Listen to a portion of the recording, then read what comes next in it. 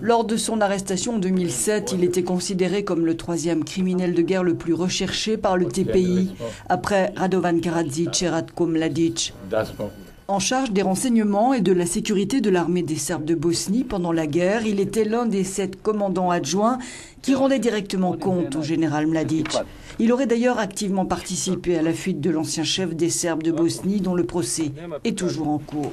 Inculpé par le TPI en 2005, il a été arrêté en mai 2007 à la frontière entre la Serbie et la Republika Srpska, l'entité serbe de Bosnie, grâce à la coopération des deux polices.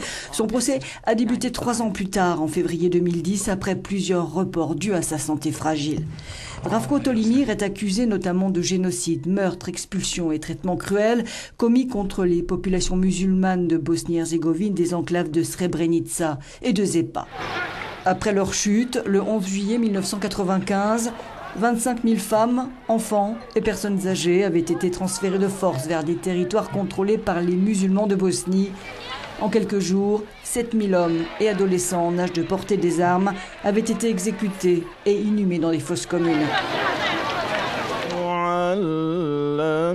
Cette année encore, comme tous les 11 juillet, depuis 17 ans, des milliers de personnes ont commémoré ce qui restera comme le pire massacre commis en Europe depuis la fin de la Seconde Guerre mondiale. 17 ans après, les plaies sont loin d'être refermées.